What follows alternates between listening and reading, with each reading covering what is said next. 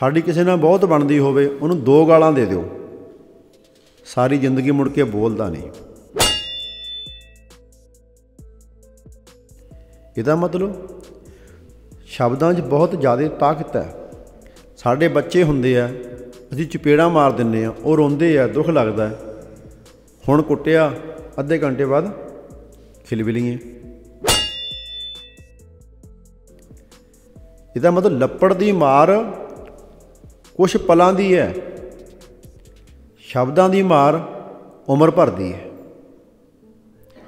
ਗੁਰੂ ਸਾਹਿਬ ਨੇ ਵੀ ਸ਼ਬਦ ਨੂੰ ਗੁਰੂ ਕਿਹਾ ਜੇ ਹੁਣ ਅਸੀਂ ਰੱਬ ਕਹਿੰਦੇ ਆ, ਇਹ ਇੱਕ ਸ਼ਬਦ ਹੈ ਅਸੀਂ ਪੱਗ ਕਹਿੰਦੇ ਆ, ਇਹ ਵੀ ਇੱਕ ਸ਼ਬਦ ਹੈ ਜੇ ਹੁਣ ਮੈਂ ਆਪਣੇ ਬੱਚਿਆਂ ਸਾਹਮਣੇ ਰੋਜ਼ ਪੱਗ ਬੰਨਾਂਗਾ, ਉਹਨੂੰ ਸਮਝਾਵਾਂਗਾ ਕਿ ਇਹਨੂੰ ਪੈਰ ਨਾ ਲਾ, ਇਹਨੂੰ ਪੁੰਜੇ ਨਹੀਂ ਸੁੱਟੀਦਾ ਇਹਨੂੰ ਖੋਲ ਕੇ ਲਾਈਦਾ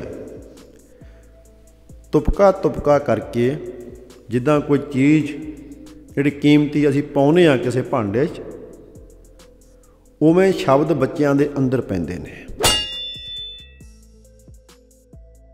ਮਾਂ-ਬਾਪ ਸਾਊ ਹੁੰਦੇ ਆ ਧੀ ਪੁੱਤ ਕਲਸ਼ਣਾ ਨਿਕਲ ਜਾਂਦਾ ਕਿਸੇ ਬਹੁਤ ਹੀ ਬਦਨਾਮ ਬੰਦੇ ਦੇ ਧੀ ਪੁੱਤ ਬਹੁਤ ਸਾਊ ਨਿਕਲ ਜਾਂਦੇ ਨੇ, ਕੀ ਹੋ ਜਾਂਦਾ ਤੇ ਸਿਆਣਿਆਂ ਨੇ ਇਹੀ ਅੰਦਾਜ਼ਾ ਲਾਇਆ ਕਿ ਕਿਸੇ ਬੱਚੇ ਦੇ ਅੰਦਰ ਕਿਹੇ ਜੇ ਸ਼ਬਦ ਵਸ ਜਾਂਦੇ ਨੇ, ਉਹਨਾਂ ਨਾਲ ਉਹਦੀ ਜ਼ਿੰਦਗੀ ਬਣਦੀ ਹੈ।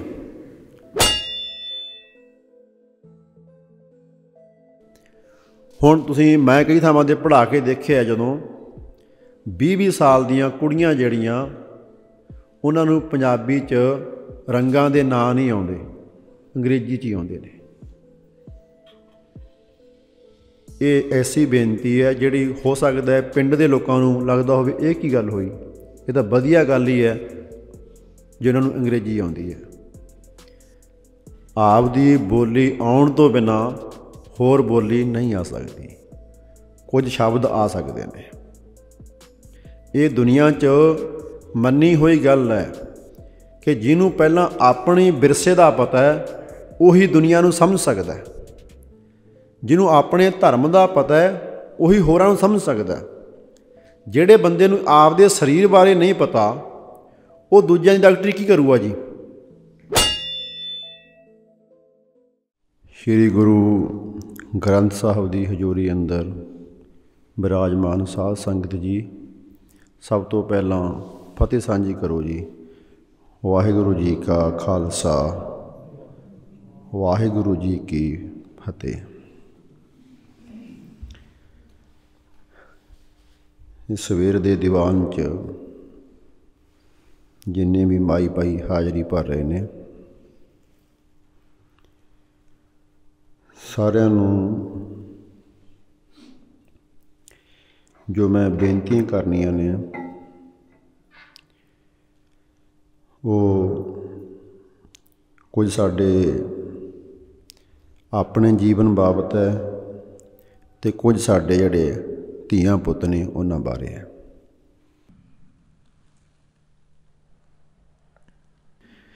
ਅਸੀਂ ਗੁਰੂ ਘਰ ਆ ਕੇ ਵੀ ਤੇ ਸੰਸਾਰ ਦੇ ਕੰਮ ਕਾਰ ਕਰਕੇ ਵੀ ਦੋਨੇ ਤਰੀਕਿਆਂ ਨਾਲ ਆਪਣਾ ਜੀਵਨ ਸਫਲਾ ਕਰਨਾ ਲੋੜਦੇ ਹਾਂ। ਅਸੀਂ ਇਹਨੂੰ ਹੋਰ ਵਧੀਆ ਤਰੀਕੇ ਨਾਲ ਕਿੱਦਾਂ ਸਫਲਾ ਬਣਾ ਸਕੀਏ। ਜੋ ਕੁਝ ਗੁਰਬਾਣੀ ਜਾਂ ਇਤਿਹਾਸ ਦੇ ਵਿੱਚੋਂ ਆਪਣੀ ਮਤਬੁੱਧ ਅਨੁਸਾਰ ਮੈਨੂੰ ਪੜਨ ਸਮਝਣ ਦਾ ਮਿਲਿਆ ਉਹਦੇ ਮੁਤਾਬਕ ਬੇਨਤੀ ਕਰਨੀ ਹੈ। ਮੈਂ ਇਹ ਨਹੀਂ ਕਹਾਂਗਾ ਕਿ ਗੁਰਬਾਣੀ ਨੇ ਇਹ ਕਿਹਾ ਮੈਂ ਤਾਂ ਤੁਹਾਨੂੰ ਇਹ ਕਹਾਂਗਾ, ਮੈਨੂੰ ਜੋ ਸਮਝ ਪਿਆ।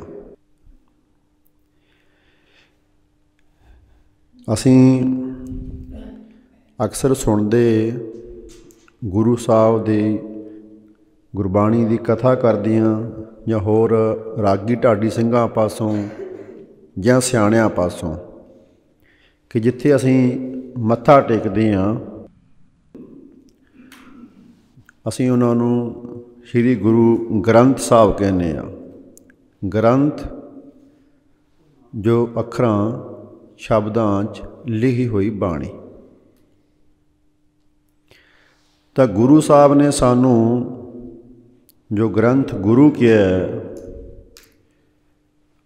ਗੁਰੂ ਦੇ ਦੁਨੀਆ 'ਚ ਬਹੁਤ ਸਾਰੇ ਅਰਥ ਪ੍ਰਚਲਿਤ ਨੇ। ਮੋਟਾ ਅਰਥ ਗੁਰੂ ਦਾ ਹੋਏ ਹੁੰਦਾ ਹੈ, ਜਿਹੜਾ ਵੱਡਾ ਹੁੰਦਾ। ਜਦੋਂ ਗੁਰੂ ਗ੍ਰੰਥ ਕਹਿੰਦੇ ਅਸੀਂ, ਤਾਂ ਐਸਾ ਗ੍ਰੰਥ ਜੋ ਸਭ ਤੋਂ ਵੱਡਾ।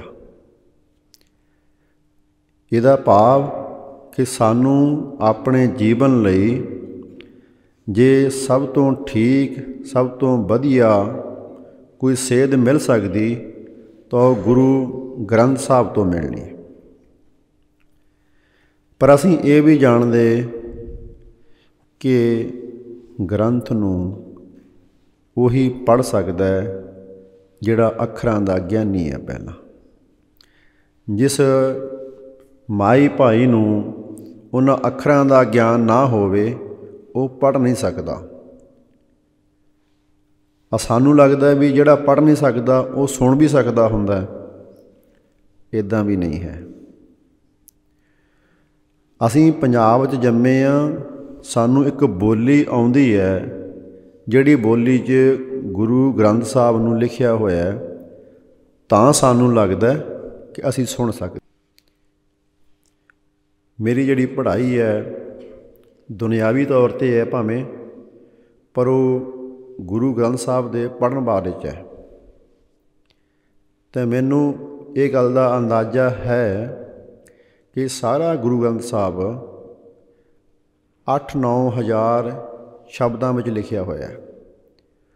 ਉਹਨਾਂ ਦਾ ਅੱਗੇ ਫੈਲਾਅ ਹੈ, ਇੱਕ ਤੋਂ ਬਹੁਤੇ ਸ਼ਬਦ ਬਣ ਕੇ।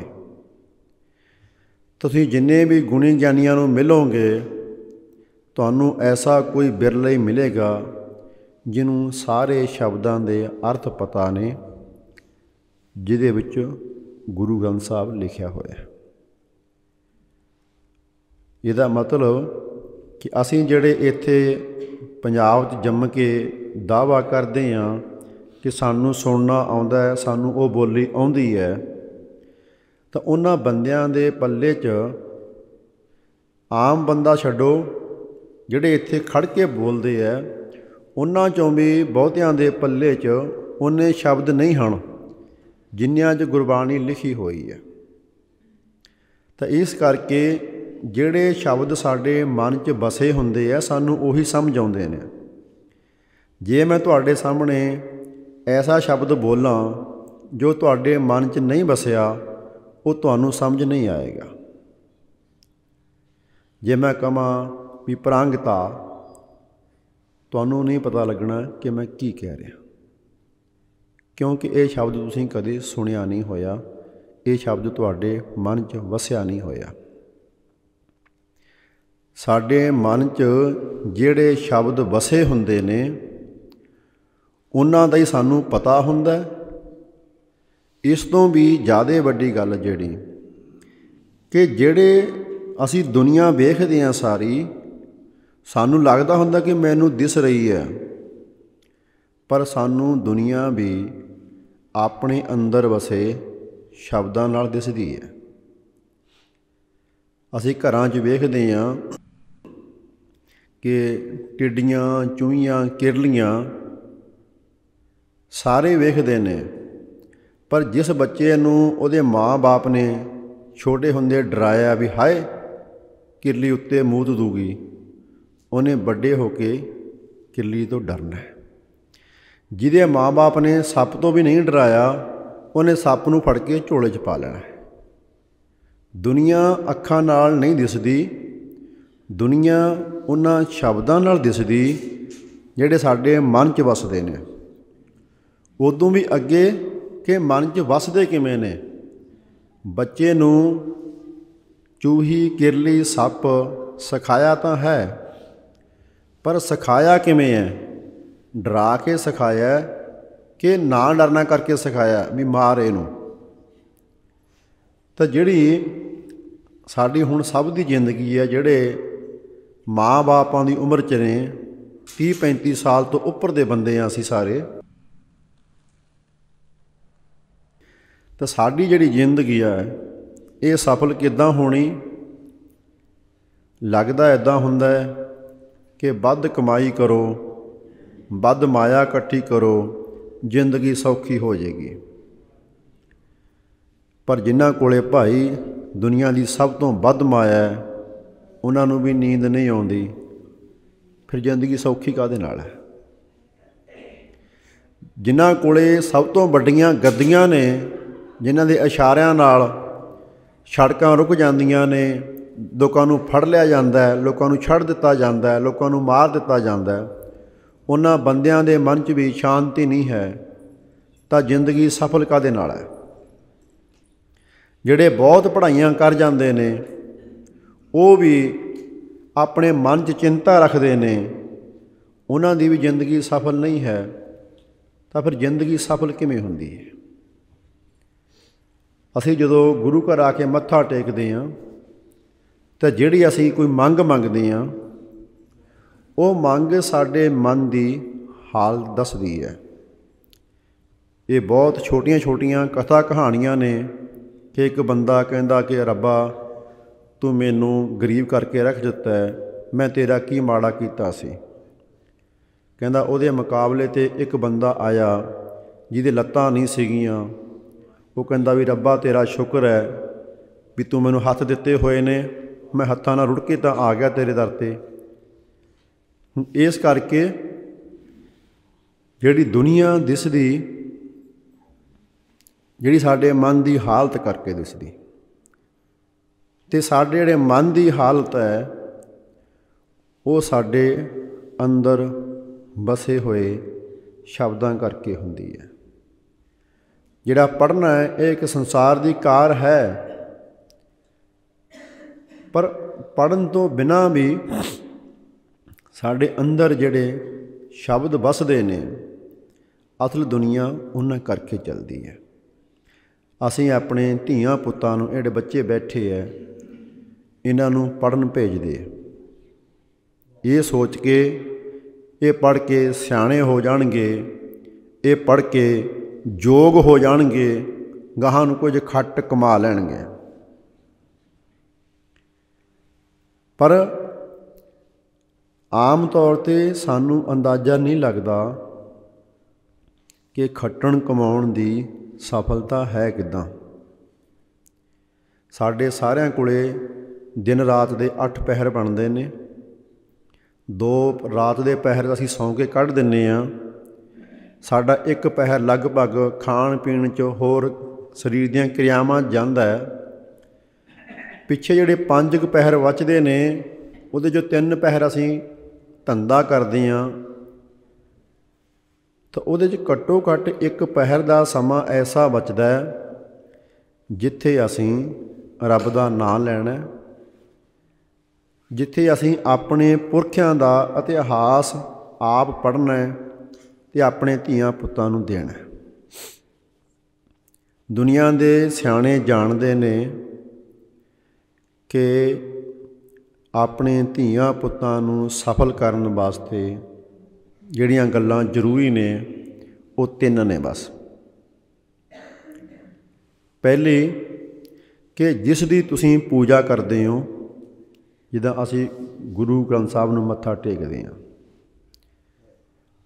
ਤੁਸੀਂ ਆਪ ਦੇ ਧੀ ਪੁੱਤ ਨੂੰ ਉਹਦੀ ਪੂਜਾ ਕਰਨ ਦਾ ਤਰੀਕਾ ਸਿਖਾ ਸਕਦੇ ਹੋ? ਜਿਵੇਂ ਤੁਹਾਨੂੰ ਸਿੱਖਿਆ ਮਿਲਿਆ ਪੁਰਖਿਆਂ ਤੋਂ। ਜਿੱਦਾਂ ਆਪਾਂ ਬੱਚਿਆਂ ਨੂੰ ਸਿਖਾ ਦਿੰਦੇ ਆ ਕਿ ਸਿਰ ਢਕੋ, ਮੱਥਾ ਟੇਕੋ। ਧੀ ਪੁੱਤ ਦੀ ਜ਼ਿੰਦਗੀ ਸਫਲ ਕਰਨ ਦਾ ਸਭ ਤੋਂ ਪਹਿਲਾ ਨੁਕਤਾ ਇਹ ਹੈ ਜਿਹੜੇ ਮਾਈ ਭਾਈ ਪਾਠ ਕਰਨਾ ਜਾਣਦੇ ਨੇ। ਪਹਿਲਾਂ ਤਾਂ ਇਹ ਕਿ ਕੀ ਉਹ ਅੱਠਾਂ ਪੈਰਾਂ ਦੇ ਵਿੱਚੋਂ ਘੱਟੋ ਘੱਟ ਇੱਕ ਪਹਿਰ ਦਾ ਸਮਾਂ ਰੱਬ ਦਾ ਨਾਮ ਤੇ ਪੁਰਖਿਆਂ ਦਾ ਇਤਿਹਾਸ ਪੜਨ ਲਈ ਗੁਜ਼ਾਰਦੇ ਕਿ ਨਹੀਂ ਗੁਜ਼ਾਰਦੇ। ਰੋਟੀ ਕਮਾਉਣ ਦਾ ਜਿਹੜਾ ਕੰਮ ਹੈ, ਇਹ ਦੁਨੀਆ ਦੇ ਵਿੱਚ ਛੋਟੇ ਤੋਂ ਲੈ ਕੇ ਹਾਥੀਆਂ ਤੱਕ ਸਾਰੇ ਜੀਵ ਕਰਦੇ ਨੇ, ਉਹ ਰੋਜ਼ ਆਪਣੇ ਭੋਜਨ ਦਾ ਪ੍ਰਬੰਧ ਕਰਦੇ ਹੀ ਕਰਦੇ ਨੇ। ਤੇ ਸਾਡਾ ਜਿਹੜਾ ਮਨੁੱਖਾ ਜੀਵਨ ਹੈ, ਇਹ ਜਾਨਵਰਾਂ ਤੋਂ ਥੋੜਾ ਬਿਹਤਰ ਹੈ। ਉਹ ਇਸੇ ਕਰਕੇ ਹੈ ਕਿ ਸਾਨੂੰ ਸ਼ਬਦਾਂ ਰਾਹੀਂ ਪਤਾ ਲੱਗਦਾ ਹੈ ਕਿ ਇੰਨੇ 100 ਸਾਲ ਪਹਿਲਾਂ ਕੀ ਹੋਇਆ ਸੀ ਜਾਂ ਹੋਰ ਦੁਨੀਆ 'ਚ ਕਿਤੇ ਦੂਰ ਕੁਝ ਹੋਰ ਕੀ ਹੋ ਰਿਹਾ ਹੈ। ਜਾਂ ਆਉਣ ਵਾਲੇ ਕੁਝ ਸਮੇਂ ਤੱਕ ਕੀ ਹੋਊਗਾ? ਤੇ ਜਿਹੜੀ ਗੱਲ ਕਰਕੇ ਅਸੀਂ ਬਾਕੀ ਜੀਵਾਂ ਨੂੰ ਵੱਖਰੇ ਆ, ਉਹੀ ਚੀਜ਼ ਸਭ ਤੋਂ ਵੱਧ ਕੀਮਤੀ ਹੈ। ਉਹ ਸ਼ਬਦ ਖਜ਼ਾਨਾ ਹੈ। ਅਸੀਂ ਸਾਰੇ ਕਮਾਈ ਕਰਕੇ ਇਹ ਸੋਚਦੇ ਹਾਂ ਕਿ ਧੀ ਪੁੱਤਲੀ ਜਾਇਦਾਦ ਬਣਾ ਦਿਆਂ। ਜ਼ਮੀਨ, ਘਰ ਥੋੜਾ ਮੋਟਾ ਪੈਸਾ ਨੌਕਰੀ, ਇਹਦੀ ਪਛਾਣ ਬਣ ਜੇ ਲੋਕਾਂ 'ਚ। ਜੇ ਸੋਚ ਗਏ, ਤੇ ਸਾਨੂੰ ਸਭ ਨੂੰ ਪਤਾ ਹੈ, ਅੱਜ ਮਾਇਆ ਹੈ ਕੱਲ ਨਹੀਂ ਰਹਿੰਦੀ। ਜਿਹੜੇ ਧੀਆਂ ਪੁੱਤਾਂ ਨੂੰ 100-100 ਕਿੱਲਾ ਜ਼ਮੀਨ ਬਣਾ ਕੇ ਦੇ ਜਾਂਦੇ ਨੇ, ਕਈ ਵਾਰੀ ਉਹ ਗਾਲ ਹੀ ਦਿੰਦੇ ਨੇ। ਕਈ ਵਾਰੀ ਸਰਕਾਰ ਕੋਈ ਕਾਨੂੰਨ ਬਣਾ ਕੇ ਜ਼ਮੀਨ ਖੋਹ ਹੀ ਲੈਂਦੀ ਹੈ। ਅੱਜ ਬੰਦਾ ਤਕੜਾ ਹੈ ਕੱਲ ਨੂੰ ਬਿਮਾਰ ਹੋ ਕੇ ਕਮਜ਼ੋਰ ਹੋ ਸਕਦਾ ਹੈ। ਅੱਜ ਨੌਕਰੀ ਹੈ ਕੱਲ ਨਹੀਂ ਹੋ ਸਕਦੀ, ਖੁੱਸ ਜਾਂਦੀ ਹੈ। ਤਾਂ ਇਹਨਾਂ ਬੱਚਿਆਂ ਨੂੰ ਐਸਾ ਕੀ ਦੇ ਸਕਦੇ ਜਿਹੜਾ ਇਹਨਾਂ ਦੇ ਆਖਰੀ ਸਾਹ ਤੱਕ ਖੁੱਸੇ ਨਾ? ਉਹ ਸ਼ਬਦ ਖਜ਼ਾਨਾ ਹੈ। ਜਿਹੜਿਆਂ ਸ਼ਬਦਾਂ 'ਚ ਬਾਣੀ ਲਿਖੀ ਹੈ, ਉਹ ਜੇ ਆਪਣੇ ਬੱਚੇ ਦੇ ਤੁਸੀਂ ਮਨ ਵਿੱਚ ਪਾ ਦਿੱਤੇ, ਤੁਸੀਂ ਆਪਣੀ ਜ਼ਿੰਦਗੀ ਦਾ ਅੱਧਾ ਹਿੱਸਾ ਸਫਲ ਕਰ ਲਿਆ। ਹੁਣ ਇਹ ਗੱਲ ਖੋਜਾਂ ਨਾਲ ਸਿੱਧ ਹੋ ਗਈ ਹੈ ਕਿ ਤੁਸੀਂ ਦੋ ਬੱਚੇ ਭਾਵੇਂ ਜੋੜੇ ਪਾਲੋ, ਜਦੋਂ ਵੱਡੇ ਹੋ ਕੇ ਉਹਨਾਂ ਦੇ ਮੁਸ਼ਕਲ ਪੈਂਦੀ ਹੈ, ਉਹ ਇੱਕੋ ਜਿਹੇ ਨਹੀਂ ਨਿਕਲਦੇ। ਇੱਕ ਭੱਜ ਜਾਂਦਾ, ਇੱਕ ਖੜ ਜਾਂਦਾ ਆਪਾਂ ਦੇਖਿਆ ਹੋਊ ਆਮ ਤੌਰ ਤੇ ਵੀ ਵੀ ਜੇ ਅਸੀਂ ਪਸ਼ੂਆਂ ਦਾ ਰਵਾ ਪਾਲੀਏ, ਮੱਝਾਂ ਦਾ, ਗਾਵਾਂ ਦਾ, ਕੁੱਤਿਆਂ ਦਾ, ਉਹ ਰਵਾ ਉਵੇਂ ਜਾਂਦਾ ਹੈ। ਪਰ ਬੰਦੇ ਦੇ ਧੀ ਪੁੱਤ ਬਹੁਤੀ ਵਾਰੀ ਬੰਦੇ ਤੇ ਨਹੀਂ ਜਾਂਦੇ। ਮਾਂ-ਬਾਪ ਸਾਊ ਹੁੰਦੇ ਆ ਧੀ ਪੁੱਤ ਕਲਸ਼ਣਾ ਨਿਕਲ ਜਾਂਦਾ ਕਿਸੇ ਬਹੁਤ ਹੀ ਬਦਨਾਮ ਬੰਦੇ ਦੇ ਧੀ ਪੁੱਤ ਬਹੁਤ ਸਾਊ ਨਿਕਲ ਜਾਂਦੇ ਨੇ, ਕੀ ਹੋ ਜਾਂਦਾ ਤੇ ਸਿਆਣਿਆਂ ਨੇ ਇਹੀ ਅੰਦਾਜ਼ਾ ਲਾਇਆ ਕਿ ਕਿਸੇ ਬੱਚੇ ਦੇ ਅੰਦਰ ਕਿਹੇ ਜੇ ਸ਼ਬਦ ਵਸ ਜਾਂਦੇ ਨੇ, ਉਹਨਾਂ ਨਾਲ ਉਹਦੀ ਜ਼ਿੰਦਗੀ ਬਣਦੀ ਹੈ। ਸਾਡੀ ਕਿਸੇ ਨਾਲ ਬਹੁਤ ਬਣਦੀ ਹੋਵੇ, ਉਹਨੂੰ ਦੋ ਗਾਲਾਂ ਦੇ ਦਿਓ। ਸਾਰੀ ਜ਼ਿੰਦਗੀ ਮੁੜ ਕੇ ਬੋਲਦਾ ਨਹੀਂ। ਇਹਦਾ ਮਤਲਬ ਸ਼ਬਦਾਂ 'ਚ ਬਹੁਤ ਜ਼ਿਆਦਾ ਤਾਕਤ ਹੈ। ਸਾਡੇ ਬੱਚੇ ਹੁੰਦੇ ਆ, ਅਸੀਂ ਚਪੇੜਾ ਮਾਰ ਦਿੰਨੇ ਆ ਉਹ ਰੋਂਦੇ ਆ, ਦੁੱਖ ਲੱਗਦਾ ਹੁਣ ਕੁੱਟਿਆ, ਅੱਧੇ ਘੰਟੇ ਬਾਅਦ ਖਿਲਬਿਲੀਏ ਇਹਦਾ ਮਤਲਬ ਲੱਪੜ ਦੀ ਮਾਰ ਕੁਝ ਪਲਾਂ ਦੀ ਹੈ, ਸ਼ਬਦਾਂ ਦੀ ਮਾਰ ਉਮਰ ਭਰ ਦੀ ਹੈ। ਗੁਰੂ ਸਾਹਿਬ ਨੇ ਵੀ ਸ਼ਬਦ ਨੂੰ ਗੁਰੂ ਕਿਹਾ। ਤੇ ਇੱਕ ਪਾਸੇ ਇਹਨਾਂ ਸ਼ਬਦਾਂ ਦਾ ਸੰਬੰਧ ਸਾਡੇ ਬੱਚਿਆਂ ਦੇ ਜੀਵਨ ਨੂੰ ਸਫਲ ਕਰਨ ਨਾਲ ਹੈ, ਦੂਜੇ ਪਾਸੇ ਸਾਡੇ ਨਾਲ ਵੀ ਹੈ। ਜਿਹੜੀ ਗੁਰਬਾਣੀ ਚ ਕੀ ਹੈ ਕਿ ਨਿੰਦਿਆ ਕਿਸੇ ਦੀ ਵੀ ਨਹੀਂ ਕਰਨੀ ਚਾਹੀਦੀ। ਇਹਦਾ ਬਹੁਤ ਵੱਡਾ ਮਤਲਬ ਹੈ। ਕਿ ਇਹ ਜਿਹੜਾ ਬੁਰਾ ਸ਼ਬਦ ਮੈਂ ਬੋਲਿਆ, ਉਹ ਦੂਜੇ ਤੇ ਮਾੜਾ ਅਸਰ ਤਾਂ ਪਾਉ ਪਾਉ ਉਹ ਮੇਰੇ ਤੇ ਵੀ ਪਾਉ ਤੁਸੀਂ ਇਹ ਗੱਲ ਯਾਦ ਰੱਖੋ ਕਿ ਜਿਹੜਾ ਬੰਦਾ ਨਿੰਦਿਆ ਕਰਦਾ, ਉਹਦੇ ਮਨ ਨੂੰ ਸ਼ਾਂਤੀ ਨਹੀਂ ਆ ਸਕਦੀ। ਕਿਉਂਕਿ ਬੁਰੇ ਹੋਏ ਬੋਲਾਂ ਦੇ ਵਿੱਚ ਮਨ ਦਾ ਟਿਕਾਓ ਨਹੀਂ ਹੋ ਸਕਦਾ। ਦੁਨੀਆ 'ਚ ਜਿੱਥੇ ਮਰਜ਼ੀ ਜਾਓ, ਇਸ ਗੱਲ ਦਾ ਸਭ ਨੂੰ ਪਤਾ ਹੈ ਕਿ ਬੁਰਾ ਨਹੀਂ ਸੁਣੀਦਾ, ਬੁਰਾ ਨਹੀਂ ਬੋਲੀਦਾ। ਪਰ ਅਸੀਂ ਜਦੋਂ ਆਪ ਦੀ ਜ਼ਿੰਦਗੀ ਵੱਲੋਂ ਵੇਖਦੇ ਆਂ ਤਾਂ ਅਸੀਂ ਰੋਜ਼ ਹੀ ਬੁਰਾ ਸੁਣਦੇ, ਰੋਜ਼ ਹੀ ਬੁਰਾ ਬੋਲਦੇ। ਤੇ ਜਿਹੜੇ ਕਈ ਵਾਰੀ ਅਸੀਂ ਵੇਖਦੇ ਹਾਂ ਕਿ ਫਲਾਨਾ ਬਹੁਤ ਸਾਊ ਸੀ, ਉਹਨਾਂ ਦਾ ਜਵਾਕ ਉਲੱਥ ਕਿਵੇਂ ਨਿਕਲ ਗਿਆ, ਕਹਿਣੇ ਤੋਂ ਬਾਹਰ ਕਿਵੇਂ ਹੋ ਗਿਆ।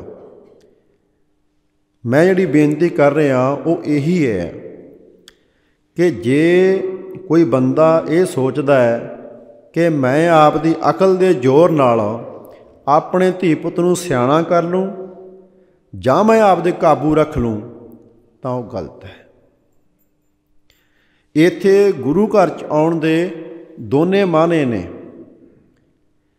ਇੱਕ ਮਾਨਾ ਇਹ ਹੈ ਕਿ ਭਾਈ ਬੱਚਾ ਆਪਣੇ ਤੋਂ ਵੱਡੇ ਦੀ ਰੀਸ ਕਰਦਾ ਹੁੰਦਾ ਪਰ ਉਸ ਵੱਡੇ ਦੀ ਜਿਨੇ ਆਪਣਾ ਜੀਵਨ ਸਫਲਾ ਕਰ ਲਿਆ। ਅਸੀਂ ਆਪ ਦੀ ਕਹਾਣੀ ਸੁਣਾਵਾਂਗੇ ਆਪ ਦੇ ਧੀ ਪੁੱਤ ਨੂੰ। ਉਹ ਹੱਸਣ ਦੇ ਕੰਮ ਤਾਂ ਆ ਸਕਦੀ ਹੈ ਕਿ ਮੈਂ ਉੱਥੇ ਆਇਆ ਗਿਆ ਸੀ, ਉੱਥੇ ਆ ਹੋ ਗਿਆ। ਪਰ ਜੇ ਬੱਚੇ ਨੂੰ ਵੱਡਾ ਬਣਾਉਣਾ ਹੈ, ਚੰਗਾ ਬਣਾਉਣਾ ਹੈ, ਤਾਂ ਜਿਹੜੀ ਸਾਖੀ ਹੈ, ਉਹ ਬਾਬਾ ਦੀਪ ਸਿੰਘ ਦੀ ਹੋਏਗੀ। ਉਹ ਭਾਈ ਤਾਰੂ ਸਿੰਘ ਦੀ ਹੋਏਗੀ, ਉਹ ਭਾਈ ਮਨੀ ਸਿੰਘ ਦੀ ਹੋਏਗੀ, ਉਹ ਮਾਤਾ ਭਾਗੋ ਦੀ ਹੋਏਗੀ, ਬੀਬੀ ਸ਼ਰਨ ਕੌਰ ਦੀ ਹੋਏਗੀ। ਇਸ ਕਰਕੇ ਕਿ ਅਸੀਂ ਆਪਣੀ ਮਤਬੁੱਧ ਨਾਲ ਆਪਣੇ ਧੀ ਪੁੱਤ ਨੂੰ ਸਿਆਣਾ ਨਹੀਂ ਕਰ ਸਕਦੇ, ਉਹਦਾ ਇੱਕ ਤਰੀਕਾ ਇਹ ਕਿ ਜੋ ਗੁਰੂ ਦਾ ਵਚਨ ਹੈ, ਉਹ ਜਿਸ ਰੂਪ ਵਿੱਚ ਕਿਹਾ ਹੋਇਆ ਹੈ, ਅਸੀਂ ਆਪਣੇ ਧੀ ਪੁੱਤ ਨੂੰ ਉਹਦੇ ਨਾਲ ਜੋੜੀਏ। ਪਰ ਇਹਦੇ 'ਚ ਦੋ ਗੱਲਾਂ ਦਾ ਫ਼ਰਕ ਹੈ। ਪਹਿਲੀ ਇਹ ਕਿ ਇਹ ਐਸਾ ਕੰਮ ਹੈ, ਜਿਹੜਾ ਮੈਨੂੰ ਆਉਂਦਾ ਮੈਂ ਤਾਂ ਹੀ ਗਾਹਾਂ ਸਿਖਾ ਸਕਦਾ। ਜਿਹਨੂੰ ਬਾਣੀ ਪੜ੍ਹਨੀ ਆਉਂਦੀ, ਉਹੀ ਅੱਗੇ ਸਿਖਾ ਸਕਦਾ ਹੈ। ਤਾਂ ਇਸ ਕਰਕੇ ਵੀ ਜੇ ਸਾਡੀ ਜ਼ਿੰਦਗੀ ਚੋਂ ਅੱਠਾਂ ਪਹਿਰਾਂ ਜੋ ਇੱਕ ਪਹਿਰ ਦਾ ਸਮਾਂ ਪਾਠ ਜਾਂ ਇਤਿਹਾਸ ਪੜ੍ਹਨ ਵਿੱਚ ਨਹੀਂ ਗੁਜ਼ਰਦਾ, ਤਾਂ ਅਸੀਂ ਆਪਣੇ ਧੀ ਪੁੱਤ ਨੂੰ ਗਾਹਾਂ ਕਿਵੇਂ ਲਾ ਸਕਦੇ ਹਾਂ? ਤੇ ਜਦੋਂ ਸਾਡਾ ਨਹੀਂ ਗੁਜ਼ਰਦਾ, ਫਿਰ ਅਸੀਂ ਉਹਨੂੰ ਇਹ ਸਿਖਾ ਨਹੀਂ ਸਕਦੇ ਕਿ ਸਭ ਤੋਂ ਜ਼ਰੂਰੀ ਕੰਮ ਕਿਹੜਾ ਹੈ। ਜਿੱਥੇ ਅਸੀਂ ਰਹਿੰਦੇ ਹੁੰਨੇ ਆ ਉੱਥੇ ਕੋਈ ਐਸੀ ਥਾਂ ਹੁੰਦੀ ਹੈ, ਜਿਹਦੀ ਸਭ ਤੋਂ ਵੱਧ ਇੱਜ਼ਤ ਹੁੰਦੀ ਹੈ। ਉਹ ਗੁਰਦੁਆਰਾ ਜਾਂ ਮੰਦਰ ਹੋ ਸਕਦਾ ਹੈ, ਉਹ ਸੱਥ ਹੋ ਸਕਦੀ ਹੈ, ਉਹ ਠਾਣਾ ਹੋ ਸਕਦਾ ਹੈ, ਉਹ ਸਕੂਲ ਹੋ ਸਕਦਾ, ਉਹ ਖੇਡ ਦਾ ਮੈਦਾਨ ਹੋ ਸਕਦਾ। ਅੱਡ-ਅੱਡ ਥਾਵਾਂ ਦੇ ਉੱਤੇ ਜ਼ਿੰਦਗੀ ਅੱਡ-ਅੱਡ ਤਰੀਕੇ ਨਾਲ ਚੱਲਦੀ ਹੈ। ਜਿੱਥੇ ਸਭ ਤੋਂ ਵੱਧ ਲੋਕੀ ਸਭ ਤੋਂ ਵੱਧ ਗੱਲ ਮੰਨਦੇ ਨੇ ਜਿਹੜੀ ਗੱਲ ਦੀ, ਉਹਦੇ ਮੁਤਾਬਕ ਜ਼ਿੰਦਗੀ ਚੱਲਦੀ ਹੁੰਦੀ ਹੈ। ਵੀ ਜੇ ਜਿਹੜੇ ਥਾਣਿਆਂ 'ਚ ਵੀ ਝਗੜੇ ਨਹੀਂ ਨਿਬੜਦੇ, ਉਹ ਬੰਦਾ ਕਹਿੰਦਾ ਵੀ ਗੁਰੂ ਘਰ ਚੜ ਜਾ ਸੌ ਚੱਕ ਲੈ। ਇਹਦਾ ਇੱਕ ਹੀ ਮਤਲਬ ਹੈ?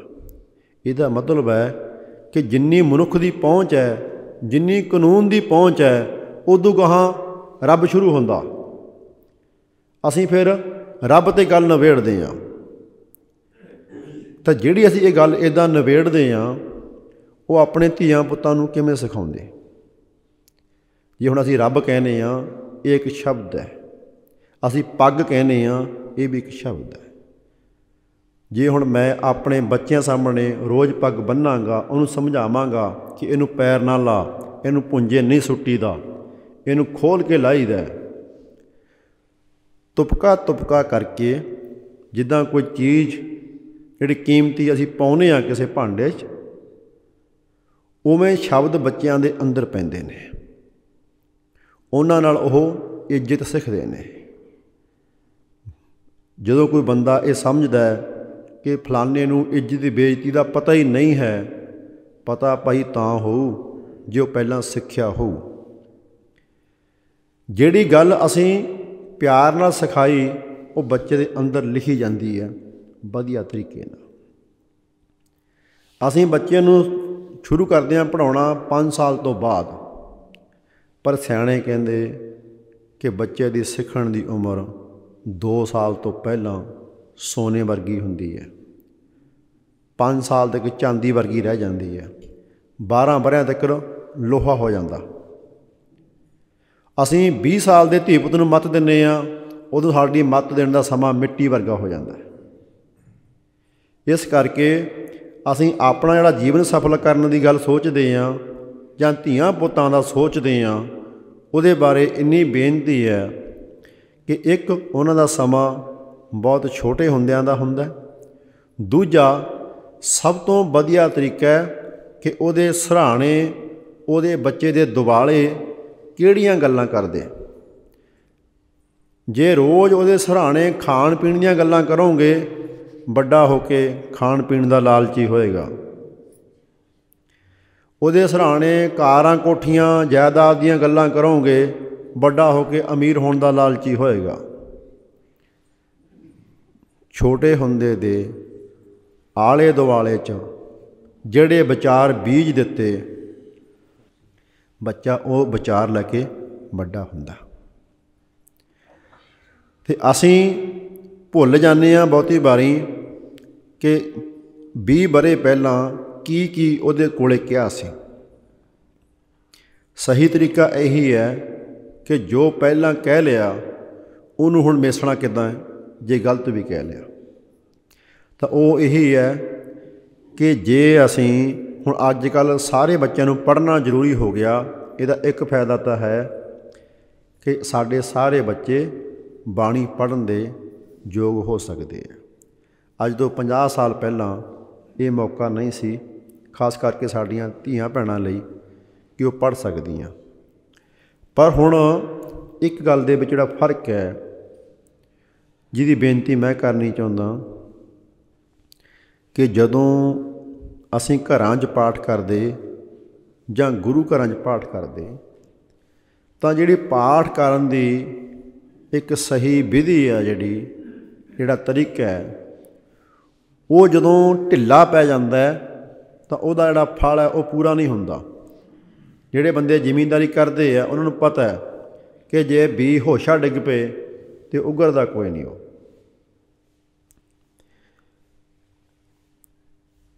ਅੱਜ ਕੱਲ ਜ਼ਿੰਦਗੀ 'ਚ ਲੋਕਾਂ ਨੂੰ ਲੱਗਦਾ ਕਿ ਜ਼ਿੰਦਗੀ ਤੇਜ਼ ਹੋ ਗਈ।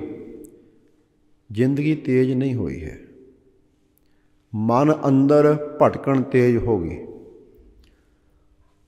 ਹੁਣ ਸਾਧਨ ਇੰਨੇ ਹੋਏ ਨੇ ਕਿ ਬੰਦਾ ਇੱਕ ਗੱਡੀ ਨਾਲ ਘੰਟੇ 'ਚ 50-60 ਮੀਲ ਵਗ ਜਾਂਦਾ ਹੈ। ਅੱਗੇ ਤਗੜੇ ਤੋਂ ਤਗੜਾ ਘੋੜਸਵਾਰ ਇੰਨੀ ਬਾਟ ਦਿਹਾੜੀ ਜਾਂਦਾ ਸੀ। ਹੁਣ ਸਨੇਹਾ ਦੇਣਾ ਅੱਗੇ ਚਿੱਠੀ ਕਈ ਦਿਨਾਂ 'ਚ ਪਹੁੰਚਦੀ ਸੀ। ਹੁਣ ਸਾਰੀ ਧਰਤੀ ਤੇ ਉੱਤੇ ਜਿੱਥੇ ਮਰਜ਼ੀ ਸਨੇਹਾ ਦੇ ਲਓ 2-3 ਸਕਿੰਟਾਂ 'ਚ ਪਹੁੰਚ ਜਾਂਦਾ ਉਸ ਹਿਸਾਬ ਨਾਲ ਜ਼ਿੰਦਗੀ ਹੋਰ ਸ਼ਾਂਤ ਤੇ ਹੌਲੀ ਹੋਣੀ ਚਾਹੀਦੀ ਸੀ। ਪਰ ਸਾਨੂੰ ਲੱਗਦਾ ਹੈ ਕਿ ਜ਼ਿੰਦਗੀ ਤੇਜ਼ ਹੋ ਗਈ ਹੈ। ਤੇਜ਼ੀ ਸਾਡਿਆਂ ਮਨਾਂ ਅੰਦਰ ਹੈ। ਦੁਨੀਆ ਦੇ ਵਿੱਚ ਨਹੀਂ ਹੈ। ਮੇਰੀ ਭਟਕਣ, ਹੋਰਾਂ ਦੀ ਭਟਕਣ ਲੱਗ, ਉਹ ਮਿਲ ਕੇ ਸਾਰੀ ਤੇਜ਼ੀ ਬਣੀ ਜਾਂਦੀ ਹੈ, ਹੁੰਦੀ ਕਿਤੇ ਨਹੀਂ ਹੁੰਦੀ। ਉਹਦਾ ਇੱਕ ਨਮੂਨਾ ਇਹ ਹੈ ਕਿ ਸਾਡੇ ਜਿਹੜੇ ਬੰਦੇ ਬਾਣੀ ਪੜ੍ਹਦੇ ਨੇ, ਉਹ ਬਾਣੀ ਨੂੰ ਤੇਜ਼ ਪੜ੍ਹਦੇ ਨੇ। ਜਿਹੜੀਆਂ ਕੋਈ ਭੈਣਾਂ ਬੀਬੀਆਂ ਇੱਥੇ ਬੈਠੀਆਂ ਹੋਣਗੀਆਂ ਜਾਂ ਬਜ਼ੁਰਗ ਜਿਹੜੇ ਬੈਠੇ ਨੇ, ਕਿ ਬੰਦੇ ਸੁਖਮਨੀ ਸਾਹਿਬ ਪੜ੍ਹਦੇ ਨੇ 1 ਘੰਟੇ ਵਿੱਚ ਪੜ੍ਹ ਦਿੰਦੇ ਨੇ। ਤੁਸੀਂ ਇਹ ਗੱਲ ਦਾ ਤਜਰਬਾ ਕਰ ਸਕਦੇ ਹੋ ਕਿ ਇੱਕ ਹੁੰਦੀ ਆਮ ਚੀਜ਼ ਪੜ੍ਹਨੀ, ਜਿੱਦਾਂ ਆਪਾਂ ਅਖਬਾਰ ਪੜ੍ਹਦੇ ਹਾਂ। ਜਿਹੜੀ ਬਾਣੀ ਹੈ, ਜਿਹਨੂੰ ਅਸੀਂ ਮੱਥਾ ਟੇਕਦੇ ਹਾਂ, ਉਹਨੂੰ ਕਿੱਦਾਂ ਪੜ੍ਹਨਾ ਚਾਹੀਦਾ? ਜੇ ਇਹ ਫ਼ਰਕ ਅਸੀਂ ਸਮਝਦੇ ਹਾਂ, ਤਾਂ ਬਾਣੀ ਸਮਝਣ ਦੇ ਸਮਰੱਥ ਹੋ ਜਾਂਦੇ ਆ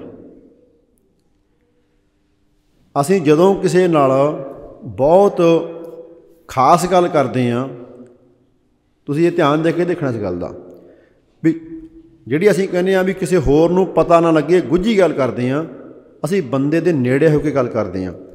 ਚਾਹੇ ਘਰ 'ਚ ਦੋਨੇ ਬੰਦੇ ਹੀ ਹੋਣ। ਕਰਦੇ ਕਿ ਨਹੀਂ ਕਰਦੇ ਜੀ?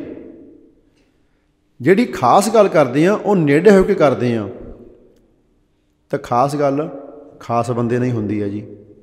ਸਭ ਨਾਲ ਨਹੀਂ ਹੋ ਜਾਂਦੀ। ਤਾਂ ਸਾਡਾ ਤੇ ਗੁਰੂ ਦਾ ਰਿਸ਼ਤਾ, ਬੰਦੇ ਤੇ ਰੱਬ ਦਾ ਰਿਸ਼ਤਾ ਸਭ ਤੋਂ ਖਾਸ ਹੈ। ਸਾਨੂੰ ਇਹ ਪਤਾ ਹੈ ਕਿ ਜਦੋਂ ਕੋਈ ਬੰਦਾ ਚਲਾਣਾ ਕਰ ਜਾਂਦਾ ਹੈ, ਜਿੰਨਾ ਮਰਜ਼ੀ ਸਾਡਾ ਖਾਸ ਹੋਵੇ, ਅਸੀਂ ਉਹਦੇ ਨਾਲ ਮਰ ਨਹੀਂ ਜਾਂਦੇ। ਤਾਂ ਬੰਦੇ ਦਾ ਮਨੁੱਖ ਦਾ ਰਿਸ਼ਤਾ ਹੈ, ਉਹ ਸਭ ਤੋਂ ਖਾਸ ਗੁਰੂ ਨਾਲ ਹੈ। ਤਾਂ ਗੁਰੂ ਨੂੰ ਅਸੀਂ ਬਾਣੀ ਰੂਪ 'ਚ ਜਾਣਦੇ ਆ ਇਸ ਕਰਕੇ ਜਿਹੜਾ ਪਾਠ ਹੈ, ਉਹ ਸਭ ਤੋਂ ਖਾਸ ਰਿਸ਼ਤੇ ਨਾਲ ਸਭ ਤੋਂ ਖਾਸ ਗੱਲਾਂ ਕਰਨੀਆਂ ਉਦਾਂ ਸਮਝੋ ਇਹਨੂੰ। ਕਿ ਜਿੱਦਾਂ ਬਹੁਤ ਖਾਸ ਬੰਦੇ ਨਾਲ ਬਹੁਤ ਖਾਸ ਗੱਲਾਂ ਕਰੀਦੀਆਂ ਇਦਾਂ ਪਾਠ ਕਰੀਦਾ। ਜੇ ਇਦਾਂ ਪਾਠ ਕਰੋਗੇ, ਤੁਹਾਨੂੰ ਆਪੇ ਪਤਾ ਲੱਗ ਜਾਣਾ ਹੈ ਕਿ ਇੰਨਾ ਜੀਵਨ ਗੁਜ਼ਾਰ ਲਿਆ, ਹੁਣ ਮਹਿਸੂਸ ਹੁੰਦਾ ਹੈ ਕਿ ਪਾਠ ਕਰਨਾ ਆਪਣੇ ਆਪ ਨਾਲ ਗੱਲ ਕਰਨ ਦਾ ਮੌਕਾ ਹੈ, ਗੁਰੂ ਨਾਲ ਗੱਲ ਕਰਨ ਦਾ ਹੈ। ਜਿਹੜੇ ਵੀ ਕੋਈ ਬੰਦੇ ਗੁਣੇ ਗਿਆਨੀ ਨੇ ਉਹ ਜਦੋਂ ਪਾਠ ਕਰਨਗੇ, ਉਹ ਇਦਾਂ ਕਰਨਗੇ ਜਿੱਦਾਂ ਉਹ ਕਿਸੇ ਨਾਲ ਗੱਲ ਕਰਦੇ ਆ। ਵੀ ਅਰੂਪ ਹੈ, ਅਨੂਪ ਹੈ, ਅਜੂ ਹੈ, ਅਭੂ ਹੈ। ਵੀ ਗਾਵੇ ਕੋ ਤਾਣ, ਜਾਂ ਗਾਵੇ ਕੋ ਵੇਖੈ ਹਾਦਰਾ ਹਦੂਰ, ਗਾਵੇ ਕੋ ਜਾਪੈ ਦਿਸੈ ਦੂਰ। ਜਿਹੜਾ ਇਸ ਵਿਦ ਪਾਠ ਹੁੰਦਾ ਹੈ, ਉਹਦੇ ਨਾਲ ਮਨ ਦੇ ਉੱਤੇ ਜਿਹੜੀ ਠੰਡਕ ਪੈਂਦੀ, ਜਿਹੜੀ ਸ਼ਾਂਤੀ ਪੈਂਦੀ, ਉਹ ਦੁਨੀਆ ਦੀਆਂ ਕੁੱਲ ਦਵਾਈਆਂ ਤੋਂ ਵਧੀਆ ਹੈ। ਉਹ ਕੁੱਲ ਦੌਲਤਾਂ ਤੋਂ ਵੀ ਵਧੀਆ ਹੁੰਦੀ ਹੈ। ਆ ਪੋਹ ਮਹੀਨਾ ਅਸੀਂ ਹਰ ਸਾਲ ਸਾਖੀ ਸੁਣਦੇ ਆ ਮਾਤਾ ਗੁਜਰੀ ਦੀ, ਛੋਟੇ ਸਹਿਬਜ਼ਾਦਿਆਂ ਦੀ, ਕਿ ਉਹਨਾਂ ਨੇ ਇੰਨਾ ਤਸ਼ੱਦਦ ਝੱਲਿਆ, ਉਹ ਡਰੇ ਨਹੀਂ। ਉਹ ਡੋਲੇ ਨਹੀਂ ਕਾਦੇ ਕਰਕੇ? ਉਹ ਇਸੇ ਕਰਕੇ ਕਿ ਉਹਨਾਂ ਦੀ ਉਹ ਅਵਸਥਾ ਬਣੀ ਹੋਈ ਸੀ, ਜਿਹੜੀ ਵਾਸਤੇ ਆਪਾਂ ਬੇਨਤੀ ਕਰ ਰਹੇ ਹਾਂ ਕਿ ਫਿਰ ਦੁਨੀਆ ਦੀ ਦੌਲਤ ਨਹੀਂ ਪਹੁੰਦੀ ਫਿਰ ਰੁਤਬੇ ਦੀ ਗੱਲ ਨਹੀਂ ਪਹੁੰਦੀ ਸਾਡੀ ਆਮ ਜ਼ਿੰਦਗੀ 'ਚ ਇਹੀ ਸਭ ਤੋਂ ਵੱਧ ਜ਼ੋਰ ਲੱਗਿਆ ਰਹਿੰਦਾ ਕਿ ਹੋਰ ਪੈਸਾ ਇਕੱਠਾ ਹੋ ਜੇ, ਹੋਰ ਪੈਸਾ ਇਕੱਠਾ ਹੋ ਜੇ। ਹਾਲਾਂਕਿ ਜਿਹੜਾ ਕਾਗਜ਼ ਹੈ ਇਹਦੀ ਕੀਮਤ ਰੋਜ਼ ਘਟ ਜਾਂਦੀ ਹੈ, ਕਦੇ ਵੱਧ ਜਾਂਦੀ ਹੈ, ਕਦੇ ਘਟ ਜਾਂਦੀ ਹੈ, ਕਦੇ ਵੱਧ ਜਾਂਦੀ ਹੈ। ਤਾਂ ਇਸ ਕਰਕੇ ਜਿਹੜੀ ਅਸੀਂ ਬਾਣੀ ਪੜ੍ਹਨੀ ਹੈ, ਉਹ ਜਦੋਂ ਵੀ ਪੜ੍ਹਨੀ ਹੈ, ਉਹ ਕੰਮ ਕਰਨ ਵਾਂਗ ਨਹੀਂ ਪੜ੍ਹਨੀ ਹੈ। ਸਾਨੂੰ ਜ਼ਿੰਦਗੀ 'ਚ ਸਵਾ ਕੰਮ ਹੁੰਦੇ ਨੇ। ਕਿਸੇ ਕੰਮ ਨੂੰ ਮੁਕਾਉਣਾ ਤੇ ਬਾਣੀ ਪੜ੍ਹਨੀ ਇੱਕੋ ਗੱਲ ਨਹੀਂ ਹੈ। ਬਾਣੀ ਪੜ੍ਹਨ ਦਾ ਮਤਲਬ ਮਨੁੱਖਾ ਜੀਵਨ ਦਾ ਸਭ ਤੋਂ ਉੱਤਮ ਅਮਲ ਕਰਨਾ। ਤੇ ਉਦਾਂ ਕਰਨਾ ਜਿਵੇਂ ਸਭ ਤੋਂ ਖਾਸ ਨਾਲ ਸਭ ਤੋਂ ਖਾਸ ਗੱਲ ਹੋ ਰਹੀ ਹੈ। ਇਦਾਂ ਜਦੋਂ ਬੰਦੇ ਪਾਠ ਕਰਦੇ ਨੇ, ਤਾਂ ਨਾ ਸਿਰਫ ਆਪਣੇ ਆਪ ਨੂੰ ਜਾਂ ਆਪਣੇ ਪਰਿਵਾਰ ਨੂੰ, ਸਗੋਂ ਆਪਣੇ ਆਲੇ ਦੁਆਲੇ ਨੂੰ ਵੀ ਇੱਕ ਐਸਾ ਅਸਰ ਦਿੰਦੇ ਨੇ ਜਿਹੜਾ ਕਹਿਣ 'ਚ ਨਹੀਂ ਆਉਂਦਾ। ਤੁਸੀਂ ਦੇਖਿਆ ਹੋਣਾ, ਜਿੱਥੇ ਕਿਤੇ ਵੀ ਕੋਈ ਬੰਦਾ ਨਾਮ ਬਾਣੀ ਦਾ ਰਸੀਆ ਆ ਕੇ ਟਿਕ ਜਾਂਦਾ ਹੈ, ਉਹਦੇ ਆਲੇ ਦੁਆਲੇ 'ਚ ਲੋਕਾਂ ਨੂੰ ਠੰਡਕ ਪਹੁੰਚਣੀ ਸ਼ੁਰੂ ਹੋ ਜਾਂਦੀ ਹੈ। ਤਾਂ ਹੁਣ ਜਿਹੜਾ ਅੱਜ ਦਾ ਸਮਾਂ ਜਿਹੜਾ, ਉੱਥੇ ਜਿਹੜੀ ਸਾਡੀ ਅਗਲੀ ਪੀੜ੍ਹੀ ਆ ਗਈ ਹੈ, ਉਹਦੇ ਬਾਰੇ ਇੱਕ ਬੇਨਤੀ ਜਿਹੜੀ, ਕਿ ਹੁਣ ਜਿਹੜੇ ਨਵੇਂ ਸੰਧ ਆਏ ਨੇ, ਉਹਨਾਂ ਨਾਲ ਇੱਕ ਫ਼ਰਕ ਆ ਗਿਆ ਜ਼ਿੰਦਗੀ 'ਚ। ਪਹਿਲਾਂ ਜਿੱਦਾਂ ਤੁਹਾਡਾ ਪਿੰਡ ਹੈ, ਇੱਥੇ ਬਾਹਰੋਂ ਕੋਈ ਬੰਦਾ ਆਉਂਦਾ ਸੀ ਤਾਂ ਖਬਰ ਕੋਈ ਲਿਆਉਂਦਾ ਸੀ। ਅਖਬਾਰ ਛਪਣ ਲੱਗੇ ਤਾਂ 24 ਘੰਟਿਆਂ ਬਾਅਦ ਤੁਹਾਡੇ ਕੋਲੇ ਖਬਰ ਪਹੁੰਚਣੀ ਸ਼ੁਰੂ ਹੋ ਗਈ। ਉਦੋਂ ਬਾਅਦ ਰੇਡੀਓ ਆ ਗਏ, ਉਹ 24 ਘੰਟਿਆਂ ਦੀ ਥਾਂ ਤੇ ਦਿਨ 'ਚ 2-3 ਵਾਰੀ ਖਬਰਾਂ ਦੇਣ ਲੱਗ ਗਏ। ਹੁਣ ਜਦੋਂ ਇਹ ਸੰਧ ਆ ਗਏ, ਇਹ ਹੁਣ ਹਰ ਪਲ ਖਬਰਾਂ ਦੇਣ ਲੱਗ ਗਏ। ਹੁਣ ਸਾਡਾ ਜਿਹੜਾ ਮਨ ਹੈ, ਸਾਡਾ ਜਿਹੜਾ ਦਿਮਾਗ ਹੈ, ਇਹ ਇੰਨਾ ਤੇਜ਼ ਨਹੀਂ ਹੈ ਕਿ ਦਿਹਾੜੀ ਦੀਆਂ 15-20 ਹਜ਼ਾਰ ਖਬਰਾਂ ਸੁਣ ਲਵੇ। ਇਹ ਦਿਹਾੜੀ ਦੀਆਂ 5-7 ਖਬਰਾਂ ਨੂੰ ਸੁਣ ਕੇ ਸਮਝਣ ਦੇ ਯੋਗ ਹੈ। ਇਸ ਤਰੀਕੇ ਨਾਲ ਕਿਉਂ ਵਾਪਰ ਰਿਹਾ ਹੈ? ਅੱਗੇ ਨੂੰ ਦੁਨੀਆ ਦੇ ਵਿੱਚ ਲਗਭਗ 10 ਕੁ ਸਾਲਾਂ ਤੱਕ ਹੀ ਜਿਵੇਂ ਜੀ ਦੁਨੀਆ ਹੋ ਜਾਣੀ ਹੈ, ਉਹਦਾ ਅੰਦਾਜ਼ਾ ਕੁਝ ਸਿਆਣੇ ਲੋਕਾਂ ਨੂੰ ਹੋ ਗਿਆ ਹੈ ਤੇ ਸਾਨੂੰ ਵੀ ਇਹ ਕਰਨਾ ਪੈਣਾ। ਕਿ ਹੁਣ ਇੱਕ ਐਸਾ ਬੱਚਿਆਂ ਦੇ ਵਿੱਚ ਨਵਾਂ ਰੋਗ ਪੈਦਾ ਹੋ ਗਿਆ ਜਿਹੜਾ ਕੋਈ ਪਹਿਲਾਂ ਵਾਲੇ ਬੰਦੇ ਸੋਚ ਨਹੀਂ ਸਕਦੇ ਸੀ। ਅਸੀਂ ਰਾਤੀ ਜਦੋਂ ਸੌਂਦੇ ਆ ਤਾਂ ਸਾਨੂੰ ਕਈ ਵਾਰੀ ਸੁਪਨਾ ਆਉਂਦਾ ਹੈ। ਸਭ ਨੂੰ ਹੀ ਆਉਂਦਾ ਜੀ ਉਹ। ਦਿਨੇ ਅਸੀਂ ਚੀਜ਼ਾਂ ਵੇਖਦੇ ਆ ਸਾਨੂੰ ਪਤਾ ਹੁੰਦਾ ਕਿ ਸੁਪਨਾ ਹੋਰ ਚੀਜ਼ ਹੈ। ਜੋ ਮੈਂ ਦਿਨੇ ਅੱਖਾਂ ਨਾਲ ਵੇਖਿਆ ਉਹ ਹੋਰ ਚੀਜ਼ ਹੈ। ਇਹ ਦੋਨਾਂ ਗੱਲਾਂ ਦਾ ਫ਼ਰਕ ਸਾਨੂੰ ਪਤਾ ਹੁੰਦਾ ਹੈ। ਇੱਕ ਤੀਜੀ ਗੱਲ ਵੀ ਹੁੰਦੀ ਹੈ ਕਿ ਅਸੀਂ ਕਈ ਵਾਰੀ ਸੋਚੀ ਹੁੰਦੀ ਗੱਲ ਵੀ ਐਦਾਂ ਹੋ ਜਾਵੇ। ਨਾ ਉਹ ਸੁਪਨਾ ਹੁੰਦੀ ਹੈ, ਨਾ ਉਹ ਅਸੀਂ ਵੇਖੀ ਹੁੰਦੀ ਹੈ। ਚੌਥਾ ਹੁੰਦਾ ਹੈ ਕਿ ਸਾਨੂੰ ਕਿਸੇ ਨੇ ਦੱਸਿਆ ਹੁੰਦਾ ਕਿ ਐਦਾਂ ਹੋ ਗਿਆ।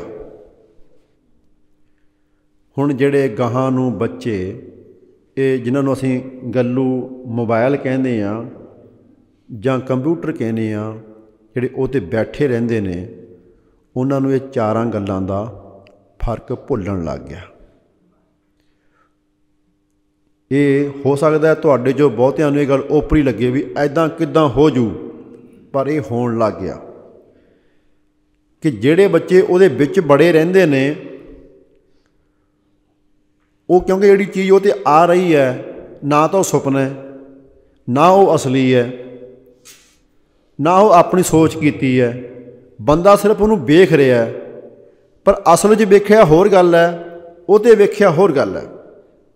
ਅਸਲ ਵੇਖਣ 'ਚ, ਸੀਸੇ ਤੇ ਵੇਖਣ ਦੇ ਵਿੱਚ ਬੱਚੇ ਦਾ ਫ਼ਰਕ ਮਿਟ ਜਾਂਦਾ ਜਦੋਂ ਉਹ ਅਸਲ ਨੂੰ ਘੱਟ ਵੇਖਦਾ ਸੀਸੇ ਨੂੰ ਵੱਧ ਵੇਖਦਾ ਦੁਨੀਆ 'ਚ ਇਦਾਂ ਹੋਣ ਲੱਗ ਗਿਆ ਕਿ ਬੱਚੇ ਸੀਸਾ ਵੇਖੀ ਜਾਂਦੇ ਆ ਵੇਖੀ ਜਾਂਦੇ ਆ ਨਾ ਖਾਂਦੇ ਆ ਨਾ ਪੀਂਦੇ ਆ ਉਹਨਾਂ ਦਾ ਪਾਣੀ ਮੁੱਕ ਜਾਂਦਾ ਉਹ ਉੱਥੇ ਫੁੜਕ ਜਾਂਦੇ ਨੇ। ਇਹ ਅੰਮ੍ਰਿਤ ਵੇਲੇ ਮੈਂ ਗੱਲ ਕਹਿਣੀ ਨਹੀਂ ਚਾਹੀਦੀ ਇਦਾਂ ਦੀ, ਪਰ ਇਹ ਦੁਨੀਆ 'ਚ ਹੋਣ ਲੱਗ ਗਿਆ ਮੈਂ ਤੁਹਾਡੇ ਸਾਹਮਣੇ ਬੇਨਤੀ ਕਰ ਰਿਹਾ ਗੱਲ ਦੀ ਕਿ ਅਗਲੇ ਧੀਆਂ ਪੁੱਤਾਂ ਨਾਲ ਜੋ ਹੋਰਾਂ ਥਾਵਾਂ ਦੇ ਵਾਪਰ ਰਿਹਾ ਉਹ ਪੰਜੀ ਦਸੀਂ ਸਾਲੀ ਸਾਡੇ ਵੀ ਵਾਪਰ ਸਕਦਾ ਹੋ। ਸਕਦਾ ਕਿਸੇ ਦੇ ਇੱਥੇ ਹੁਣ ਵੀ ਵਾਪਰ ਜਾਏ ਕੁਝ ਸਮੇਂ 'ਚ। ਤਾਂ ਉਹਦੀ ਇੱਕ ਜਿਹੜੀ ਇਹੀ ਬੇਨਤੀ ਹੈ ਕਿ ਬੱਚੇ ਨੂੰ ਜੋ ਮਰਜ਼ੀ ਸੰਦ ਲੈ ਕੇ ਦਿਓ, ਜਿੰਨੀ ਮਰਜ਼ੀ ਦੀ ਪੜ੍ਹਾਈ ਕਰਾਓ, ਪਰ ਦੋ ਗੱਲਾਂ ਯਾਦ ਰੱਖਣੀਆਂ ਨੇ। ਕਿ ਉਹਦਾ ਬੰਦਿਆਂ ਨਾਲ ਮਿਲਣਾ ਜ਼ਰੂਰੀ, ਉਹਦਾ ਤੁਹਾਡੇ ਨਾਲ ਗੱਲਾਂ ਕਰਨਾ ਜ਼ਰੂਰੀ। ਹੁਣ ਜਿਹੜੇ ਲੋਕੀ ਸ਼ਹਿਰਾਂ 'ਚ ਨੌਕਰੀ ਕਰਦੇ ਨੇ, ਉਹ ਦੋਨੇ ਦੋਨੇ ਜੀ ਨੌਕਰੀ ਕਰਦੇ ਨੇ। ਜਵਾਕਾਂ ਨੂੰ ਸਕੂਲ ਤੋਰ ਕੇ ਚੱਲ ਜਾਂਦੇ ਨੇ, ਆ ਕੇ ਘਰੇ ਸੌਂ ਜਾਂਦੇ ਨੇ। ਬੱਚਿਆਂ ਨਾਲ ਉਹਨਾਂ ਦੀ ਗੱਲਬਾਤ ਨਹੀਂ ਹੁੰਦੀ। ਸਾਡਾ ਰਿਸ਼ਤਾ ਮਿਲਦਿਆਂ ਦਾ ਜੀ, ਗੱਲ ਹੁੰਦੀ ਦਾ ਹੀ ਰਿਸ਼ਤਾ ਹੈ। ਆਪਾਂ ਕਹਿੰਦੇ ਨੇ ਫਲਾਣੇ ਦਾ ਖੂਨ ਚਿੱਟਾ ਹੋ ਗਿਆ। ਖੂਨ ਚਿੱਟਾ ਇਸੇ ਕਰਕੇ ਹੋ ਗਿਆ ਜੀ, ਆਪੋ ਚ ਗੱਲ ਨਹੀਂ ਹੁੰਦੀ। ਬੰਦੇ ਦਾ ਰਿਸ਼ਤਾ ਮਾਂ-ਬਾਪ ਨਾਲ ਵੀ ਸ਼ਬਦਾਂ ਨਾਲ ਜੁੜਿਆ ਰਹਿੰਦਾ ਹੈ। ਅਸੀਂ ਛੋਟੇ ਹੁੰਦੇ ਨੂੰ ਸਿਖਾਉਨੇ ਆ ਕਿ ਇਹ ਪੁੱਤ ਤੇਰੀ ਮਾਂ ਹੈ, ਤੇਰਾ ਆਹਾ ਨਾਂ ਹੈ। ਜੇ ਕਿਸੇ ਬੱਚੇ ਨੂੰ ਤੁਸੀਂ ਦੱਸੋ ਹੀ ਨਾ ਤੇਰਾ ਮਾਂ-ਬਾਪ ਕੌਣ ਹੈ, ਕੀ ਉਹ ਪਛਾਣ ਲਏਗਾ? ਨਹੀਂ। ਅਸੀਂ ਆਪ ਦਾ ਬੱਚਾ ਜੰਮ ਕੇ ਕਿਤੇ ਛੱਡ ਆਈਏ 20 ਸਾਲਾਂ ਬਾਅਦ ਪਛਾਣ ਲਾਂਗੇ? ਨਹੀਂ। ਰਿਸ਼ਤਾ ਮਿਲਦਿਆਂ ਦਾ ਹੈ। ਮਿਲਦਿਆਂ ਦਾ ਵੀ ਸ਼ਬਦਾਂ ਦੇ ਦੇਣ ਲੈਣ ਦਾ ਉਹ ਵੀ ਵਧੀਆ ਸ਼ਬਦਾਂ ਦਾ। ਜਿਹਨੂੰ ਅਸੀਂ ਗਾਲਾਂ ਕੱਢਾਂਗੇ, ਉਹ ਸਾਨੂੰ ਕਿਉਂ ਮਿਲਣਾ ਚਾਹੂਗਾ ਜੀ? ਤਾਂ ਹੁਣ ਜਿਹੜੀ ਅਗਲੀ ਹਾਲਤ ਹੋਣ ਵਾਲੀ ਹੈ ਜਿਹੜੀ, ਉਹ ਇਹੀ ਹੋਈ ਹੈ ਕਿ ਬੱਚੇ ਸੀਸੇ ਤੋਂ ਹੀ ਸਾਰਾ ਕੁਝ ਵੇਖੀ ਜਾਂਦੇ ਐ ਸੀਸੇ ਤੋਂ ਹੀ ਸੁਣੀ ਜਾਂਦੇ ਐ ਸੀਸੇ ਤੇ ਹੀ ਬੋਲੀ ਜਾਂਦੇ ਨੇ, ਸੀਸੇ ਤੇ ਹੀ ਲਿਖੀ ਜਾਂਦੇ ਨੇ। ਉਹ ਭਾਈ ਸੀਸੇ ਦੇ ਵਿੱਚ ਵੜ ਗਏ ਜਾਂ ਸੀਸਾ ਉਹਨਾਂ ਦੇ ਵਿੱਚ ਵੜ ਗਿਆ। ਹੁਣ ਉਹ ਪੜ ਨਹੀਂ ਰਹੇ। ਕੁਝ ਹੋਰ ਹੋਣ ਲੱਗ ਗਿਆ। ਇਹ ਐਸੀ ਬਿਮਾਰੀ ਹੈ ਜਿਹਦਾ ਕਿਤੇ ਕੋਈ ਇਲਾਜ ਨਹੀਂ ਹੈ, ਕਿਉਂਕਿ ਸਰਕਾਰਾਂ ਚਾਹੁੰਦੀਆਂ ਨੇ ਕਿ ਉਹ ਸੀਸਾ ਹਰੇਕ ਦੇ ਹੱਥ 'ਚ ਹੋਵੇ, ਤਾਂ ਹਰੇਕ ਬੰਦਾ ਸਰਕਾਰ ਦੇ ਵਸ 'ਚ ਹੋਵੇ। ਇਹ ਇਦਾਂ ਹੀ ਨਹੀਂ ਬਣਾਏ। ਸਾਨੂੰ ਇਦਾਂ ਨਹੀਂ ਵੇਚੇ। ਮੈਂ ਇਹ ਨਹੀਂ ਕਹਿੰਦਾ ਕਿ ਨਾ ਰੱਖੋ। ਪਰ ਸਹੀ ਤਾਂ ਵਰਤ ਸਕਦਾ ਬੱਚਾ, ਜੇ ਪਹਿਲਾਂ ਅਸੀਂ ਉਹਨੂੰ ਕੁਝ ਸਿਖਾ ਦਈਏ ਕਿ ਆਪਾਂ ਭਾਈ ਹਾਂ ਕੌਣ? ਦੁਨੀਆ ਤੇ ਬੰਦਾ ਕਿਉਂ ਆਇਆ ਜ਼ਿੰਦਗੀ ਸਫਲ ਕਿਵੇਂ ਹੋਣੀ ਹੈ? ਸਾਡਾ ਇੱਕ ਇਤਿਹਾਸ ਹੈ, ਸਾਡੀ ਇੱਕ ਬੋਲੀ ਹੈ, ਸਾਡਾ ਇੱਕ ਧਰਮ ਹੈ। ਹੁਣ ਤੁਸੀਂ ਮੈਂ ਕਈ ਥਾਵਾਂ ਤੇ ਪੜ੍ਹਾ ਕੇ ਦੇਖਿਆ ਜਦੋਂ 20-20 ਸਾਲ ਦੀਆਂ ਕੁੜੀਆਂ ਜਿਹੜੀਆਂ, ਉਹਨਾਂ ਨੂੰ ਪੰਜਾਬੀ 'ਚ ਰੰਗਾਂ ਦੇ ਨਾਂ ਨਹੀਂ ਆਉਂਦੇ, ਅੰਗਰੇਜ਼ੀ 'ਚ ਹੀ ਆਉਂਦੇ ਨੇ। ਇਹ ਐਸੀ ਬੇਨਤੀ ਹੈ ਜਿਹੜੀ ਹੋ ਸਕਦਾ ਹੈ ਪਿੰਡ ਦੇ ਲੋਕਾਂ ਨੂੰ ਲੱਗਦਾ ਹੋਵੇ ਇਹ ਕੀ ਗੱਲ ਹੋਈ। ਇਹ ਤਾਂ ਵਧੀਆ ਗੱਲ ਹੀ ਹੈ ਜਿਨ੍ਹਾਂ ਨੂੰ ਅੰਗਰੇਜ਼ੀ ਆਉਂਦੀ ਹੈ। ਆਪ ਦੀ ਬੋਲੀ ਆਉਣ ਤੋਂ ਬਿਨਾ ਹੋਰ ਬੋਲੀ ਨਹੀਂ ਆ ਸਕਦੀ। ਕੁਝ ਸ਼ਬਦ ਆ ਸਕਦੇ ਨੇ। ਇਹ ਦੁਨੀਆ 'ਚ ਮੰਨੀ ਹੋਈ ਗੱਲ ਹੈ ਕਿ ਜਿਹਨੂੰ ਪਹਿਲਾਂ ਆਪਣੀ ਵਿਰਸੇ ਦਾ ਪਤਾ ਹੈ, ਉਹੀ ਦੁਨੀਆ ਨੂੰ ਸਮਝ ਸਕਦਾ ਹੈ। ਜਿਹਨੂੰ ਆਪਣੇ ਧਰਮ ਦਾ ਪਤਾ ਹੈ, ਉਹੀ ਹੋਰਾਂ ਨੂੰ ਸਮਝ ਸਕਦਾ ਹੈ। ਜਿਹੜੇ ਬੰਦੇ ਨੂੰ ਆਪਦੇ ਸਰੀਰ ਬਾਰੇ ਨਹੀਂ ਪਤਾ, ਉਹ ਦੂਜਿਆਂ ਦੀ ਡਾਕਟਰੀ ਕੀ ਕਰੂਗਾ ਜੀ? ਇਸ ਕਰਕੇ ਅਸੀਂ ਆਪਣੇ ਧੀਆਂ ਪੁੱਤਾਂ ਨੂੰ ਜਿਹੜਾ ਸਿਖਾਉਣਾ ਪੜਾਉਣਾ ਹੈ, ਸਫਲ ਬਣਾਉਣਾ ਹੈ ਉਹਦੀ ਜਿਹੜੀ ਬੇਨਤੀ ਮੈਂ ਸ਼ੁਰੂ ਕਰੀ ਸੀ, ਉਹ ਸ਼ਬਦਾਂ ਤੋਂ ਕਰੀ ਸੀ ਕਿ ਪਹਿਲਾਂ ਅਸੀਂ ਆਪ ਸਹੀ ਤਰੀਕੇ ਨਾਲ ਬਾਣੀ ਦਾ ਪਾਠ ਕਰਨਾ ਸਿੱਖ ਜਾਈਏ। ਦੂਜਾ, ਜਿਹੜਿਆਂ ਸ਼ਬਦਾਂ 'ਚ ਬਾਣੀ ਲਿਖੀ ਹੈ, ਅਸੀਂ ਉਹ ਆਪਣੇ ਬੱਚਿਆਂ ਨੂੰ ਜ਼ਰੂਰ ਸਿਖਾ ਕੇ ਜਾਈਏ। ਇਹ ਸਭ ਤੋਂ ਵੱਡੀ ਜਾਇਦਾਦ ਹੈ, ਜਿਹੜੀ ਅਸੀਂ ਉਹਨਾਂ ਨੂੰ ਦੇ ਕੇ ਜਾਣੀ ਹੈ। ਬਾਕੀ ਜਾਇਦਾਦਾਂ ਬੱਚੇ ਆਪ ਵੀ ਗਵਾ ਸਕਦੇ ਨੇ, ਜੇ ਯੋਗ ਹੋਏ ਤਾਂ ਆਪ ਵੀ ਬਣਾ ਸਕਦੇ ਨੇ। ਪਰ ਜਿਹੜੇ ਬੱਚੇ ਨੂੰ ਮਾਂ-ਬਾਪ ਤੋਂ ਆਪਣੇ ਸ਼ਬਦ ਸੁਣਨ ਸਿੱਖਣ ਨੂੰ ਨਹੀਂ ਮਿਲੇ, ਉਹਦਾ ਸਾਡੇ ਨਾਲ ਰਿਸ਼ਤਾ ਰਹਿ ਨਹੀਂ ਸਕਦਾ, ਇਹ ਸੱਚਾਈ ਹੈ। ਲੋਕਾਂ ਦੇ ਧੀ ਪੁੱਤ ਜਿਹੜੇ ਬਾਹਰ ਅਸੀਂ ਸੋਚਦੇ ਹਾਂ ਵੀ ਉਹ ਤਰੱਕੀ ਵਾਸਤੇ ਗਏ ਨੇ। ਨਹੀਂ, ਉਹ ਪੱਠੀ 'ਚ ਗਏ ਨੇ। ਸਾਨੂੰ ਲੱਗਦਾ ਇਦਾਂ ਹੀ ਹੈ, ਕਿਉਂਕਿ ਸਾਨੂੰ ਪਤਾ ਹੀ ਨਹੀਂ ਉੱਥੇ ਕੀ ਹੋਈ ਜਾਂਦਾ। ਤੁਹਾਡੇ ਸਾਹਮਣੇ ਮੈਂ ਇੱਕ ਛੋਟੀ ਜਿਹੀ ਬੇਨਤੀ ਕਰਾਂ ਇਹ।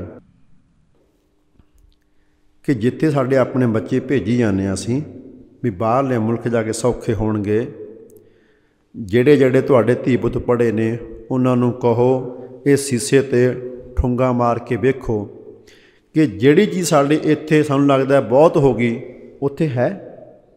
ਸਾਡੇ ਇੱਥੇ ਨਸ਼ਾ ਹੋਇਆ ਹੋਇਆ ਲੱਭ ਕੇ ਦੇਖੋ, ਕੈਨੇਡਾ 'ਚ, ਅਮਰੀਕਾ 'ਚ ਨਸ਼ਾ ਕਿੰਨਾ ਹੈ।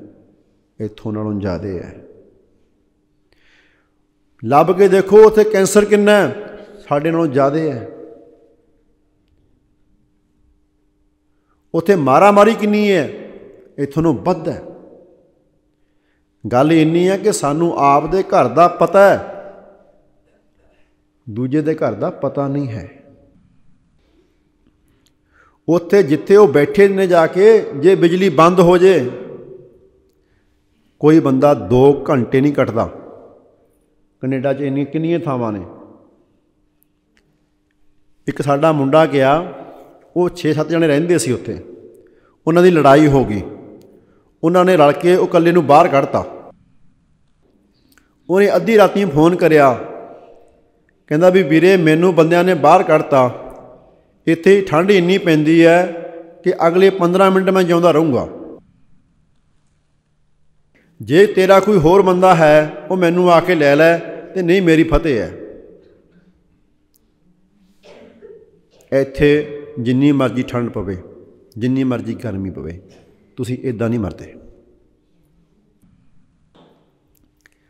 ਮੈਂ ਪੜਨ ਵਾਸਤੇ ਬੇਨਤੀ ਸ਼ੁਰੂ ਕੀਤੀ ਸੀ, ਉਹ ਇਸੇ ਲਈ ਕੀਤੀ ਸੀ ਕਿ ਸਿਰਫ ਜਿਹੜਾ ਸਾਡੇ ਸਾਹਮਣੇ ਕਿਸੇ ਨੇ ਪੇਸ਼ ਕੀਤਾ ਹੈ ਦ੍ਰਿਸ਼ ਜਿਹੜਾ ਵੀ ਫਲਾਨੀ ਥਾਂ ਚੰਗੀ ਹੈ, ਭਾਈ ਉਹਨੂੰ ਪਰਖ ਕੇ ਵੇਖੋ। ਅਸੀਂ ਦੁਕਾਨ ਵਾਲੇ ਤੋਂ ਜਾਂ ਸਬਜ਼ੀ ਵਾਲੇ ਤੋਂ ਕੱਦੂ ਵੀ ਖਰੀਦਦੇ ਆ ਨਾ ਜੀ। ਦੋ ਵਾਰ ਪੁੱਛਦੇ ਆ ਤਾਜ਼ਾ ਹੈ, ਕੱਚਾ ਹੈ। ਉਹ ਭਾਈ ਜਿੱਥੇ ਧੀ ਪੁੱਤ ਨੂੰ ਧੱਕਾ ਦੇਣਾ ਉਹਨੂੰ ਇੱਕ ਵਾਰੀ ਪਰਖ ਤਾਂ ਲਓ। ਕਿ ਕਿੱਥੇ ਭੇਜਣਾ ਉਹਨਾਂ ਨੂੰ? ਉੱਥੇ ਸਾਡੇ ਬੱਚਿਆਂ ਦੀ ਜਿਹੜੀ ਹਾਲਤ ਹੈ, ਉਹ ਜੇ ਵੇਖ ਲਓਗੇ, ਗਸ਼ੀਆਂ ਪੈ ਜਾਣਗੀਆਂ। ਕਿ ਕਿੰਨਾ ਮੰਦਾ ਹਾਲ ਸਾਡੇ ਜਵਾਕਾਂ ਦਾ ਉੱਥੇ। ਉਹ ਜਦੋਂ ਇੱਥੋਂ ਗਏ ਨੇ, ਉਹ ਸ਼ਰਮ ਦੇ ਮਾਰੇ ਦੱਸਦੇ ਨਹੀਂ ਸਾਨੂੰ ਕਿ ਉਹਨਾਂ ਨਾਲ ਕੀ ਬਣੀ ਜਾਂਦੀ ਹੈ। ਪਰ ਹੁਣ ਉਹ ਗੱਲਾਂ ਬਾਹਰ ਆਈ ਜਾਂਦੀਆਂ ਨੇ ਕਿ ਜਿਹੜਾ ਸਭ ਤੋਂ ਵਧੀਆ ਮੁਲਕ ਹੈ, ਉੱਥੇ ਲੋਕਾਂ ਨੂੰ ਇੰਨਾ ਕੈਂਸਰ ਹੋ ਗਿਆ ਤੇ ਗਾਹਾਂ ਨੂੰ ਇੰਨਾ ਹੋਣਾ ਹੈ ਕਿ ਜੇ ਮੈਂ ਝੂਠ ਨਾ ਲੱਗੇ ਤੁਹਾਨੂੰ ਗੱਲ ਇਹ ਕਿ ਹਰੇਕ ਚੌਥੇ ਜਾਂ ਪੰਜਵੇਂ ਬੰਦੇ ਨੂੰ ਹੋ ਜਾਣਾ ਜਿਹੜਾ ਸਭ ਤੋਂ ਵਧੀਆ ਮੁਲਕ ਕਹਿੰਦੇ ਕੈਨੇਡਾ ਵਾਲਾ। ਇਹ ਮੈਂ ਇਸ ਕਰਕੇ ਬੇਨਤੀ ਕਰ ਰਿਹਾ ਕਿ ਸੁਣੀਆਂ ਸੁਣਾਈਆਂ ਤੇ ਮੇਰੀਆਂ ਤੇ ਵੀ ਯਕੀਨ ਨਾ ਕਰੋ। ਪਰ ਜਿਹੜੇ ਤੁਹਾਡੇ ਧੀ ਪੁੱਤ ਪੜ੍ਹ ਕੇ ਨੇ, ਉਹਨਾਂ ਨੂੰ ਕਹੋ, ਇਹ ਗੱਲਾਂ ਲੱਭ ਕੇ ਦੇਖੋ ਕਿ ਸਾਡੇ ਜਿਹੜੀ ਚੀਜ਼ ਸਾਨੂੰ ਲੱਗਦਾ ਇੱਥੇ ਮਾੜੀ ਹੈ, ਉੱਥੇ ਹੈ ਕਿ ਨਹੀਂ ਹੈ। ਸਿਆਣਿਆਂ ਨੇ ਬਹੁਤ ਪਹਿਲਾਂ ਕਿਹਾ ਵੀ ਭਾਈ ਦੁੱਖ, ਭੁੱਖ, ਬਿਮਾਰੀ, ਮੌਤ ਸਭ ਥਾਂ ਆਊਗੀ। ਫਿਰ ਬੱਚਿਆਂ ਨੂੰ ਕੀ ਸਿਖਾ ਰਹੇ ਹਾਂ? ਕਿੱਥੇ ਭੇਜ ਰਹੇ ਹਾਂ? ਇਹ ਧਰਤੀ ਐਸੀ ਹੈ ਜਿੱਥੇ ਦਾਣਾ ਪਾਓ, ਆਪੇ ਉੱਗਰ ਖੜਦਾ ਹੈ। ਦੁਨੀਆ 'ਚ ਐਸੀਆਂ ਥਾਵਾਂ ਬਹੁਤ ਥੋੜੀਆਂ ਨੇ। ਪੰਜਾਬ ਐਸੀ ਥਾਂ ਹੈ। ਦੂਜਾ ਸਾਡਾ ਇੱਥੇ ਇਤਿਹਾਸ ਹੈ, ਪੁਰਖਿਆਂ ਦਾ ਗੁਰੂ ਸਾਹਿਬ ਦਾ ਅਸੀਂ ਆਪਣੇ ਬੱਚਿਆਂ ਨੂੰ ਇੱਥੇ ਪਹਿਲਾਂ ਇਹਦੇ ਬਾਰੇ ਸਮਝ ਦੇਈਏ, ਜੋੜੀਏ। ਦੁਨੀਆ 'ਚ ਐਸੀ ਕੋਈ ਬੋਲੀ ਨਹੀਂ ਜਿਹੜੀ ਵੱਡੀ ਹੈ। ਸਾਰੀਆਂ ਲਗਭਗ ਇੱਕੋ ਜੀਆਂ ਹੁੰਦੀਆਂ ਨੇ। ਫ਼ਰਕ ਇਹ ਹੈ ਕਿ ਜਿਹੜੇ ਬੋਲਣ ਵਾਲੇ ਬੰਦੇ ਨੇ, ਉਹਨਾਂ 'ਚ ਇੰਨਾ ਦਾਵਾ ਹੈ ਕਿ ਸਾਰੀ ਦੁਨੀਆ ਅਸੀਂ ਆਪਦਿਆਂ ਸ਼ਬਦਾਂ 'ਚ ਦੇਖੀਏ, ਆਪਦਿਆਂ ਅੱਖਰਾਂ 'ਚ ਦੇਖੀਏ ਅਸੀਂ।